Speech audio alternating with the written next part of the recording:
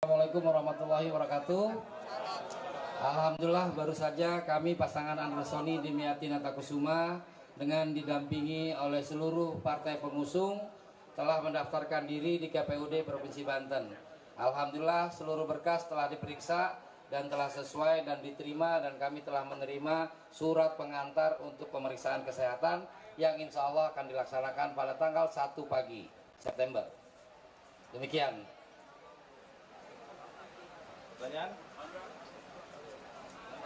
Ya. Eh, saya Fajar dari Bogor. Pak, eh, setiap dalam kunjungan Bapak selalu menjawabnya terkait tiga prioritas program kesehatan, pendidikan, dan infrastruktur.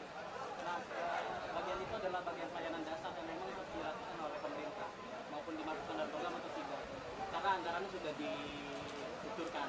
Nah, yang kita ingin segera inovasi ataupun terobosan apa yang ingin Bapak lakukan hal itu terjadi jangan sampai nanti ketika Bapak terpilih masih ada masyarakat yang mengeluhkan terkait akses pendidikan, akses layanan publik dan lain sebagainya. Baik, baik. eh, terkait dengan tiga hal tersebut, pendidikan, kesehatan, dan lapangan pekerjaan atau kemakmuran itu merupakan alat ukur sebuah keberhasilan pemerintahan. Disebut dengan IPM, Indeks Pembangunan Manusia. Indeks pembangunan manusia menjadi penting, pembangunan manusia menjadi penting, bukan berarti pembangunan infrastruktur, bangunan dan lain-lain itu tidak penting. Tapi dengan membangun sebuah eh, sumber daya manusia yang baik, berkualitas, sehat, insya Allah Provinsi Banten bisa akan maju. Nah, pembangunan ini tidak melulu berupa pembangunan fisik. Kita juga harus mengutamakan pembangunan non fisiknya, yaitu pembangunan manusianya. Seperti yang kita nyanyikan bersama-sama, bangunlah jiwanya, bangunlah badannya. Kita bisa mencontoh, mohon maaf saya terpaksa harus mencontoh, negara Singapura tidak memiliki apa-apa. Mereka hanya memiliki sumber daya manusia. Pendiri negara Singapura fokus bagaimana mereka mengembangkan sumber daya manusianya. Hari ini kita harus bisa mencontoh karena apa? Provinsi Banten punya semuanya, tapi sumber daya manusia kita masih tertinggal. Apa penyebabnya? Karena akses pendidikan belum merata. Provinsi Banten ada 9.700 km persegi luasnya. Tapi kita hanya menyoroti seakan-akan Provinsi Banten hanya Tangerang. Padahal kita masih punya Lebak, kita masih punya Pandeglang, kita punya Cilegon, kita punya Kabupaten Serang, Kota Serang. Oleh karena itu, tiga hal tersebut menjadi kunci dasar. Dan bagaimana tiga hal tersebut bisa terlaksana? Pembangunan sarana prasarana pendidikan, sarana prasarana kesehatan, dan pembangunan infrastruktur agar kolektivitas terjadi sehingga tidak lagi orang desa mengejar kemakmuran ke kota. Orang desa tidak perlu lagi mencari mengadu nasib ke Jakarta. Karena apa? Jakarta butuh Banten.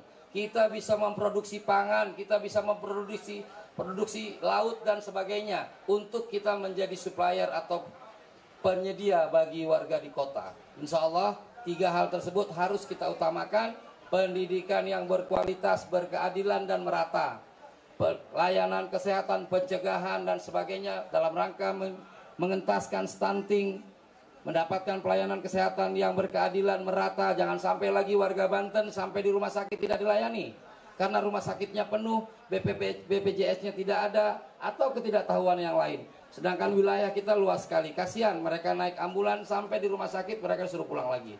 Itu tidak boleh lagi terjadi di Provinsi Banten. Ketiga, semua itu akan sia-sia saat mereka tidak memili- memiliki pekerjaan.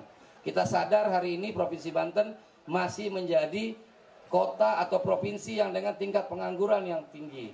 Ini menjadi PR buat kita semua, menjadi target bagi kita semua menyelesaikannya dan insya Allah Andra Sony Dimyati telah menyiapkan beragam program kita punya 5 misi 8 program 24 program turunan yang insya Allah pada kesempatannya nanti kan kami sampaikan. Salah satu yang ingin kami sampaikan program andalan kami adalah Bang Andra bangun jalan desa sejahtera. Kedua program kami adalah desa tangguh bantuan keuangan lebih besar lagi kepada desa agar desa bisa lebih mandiri. Nah, kurang lebih itu. Nanti yang lain-lainnya kita ada pada kesempatan yang lain insya Allah.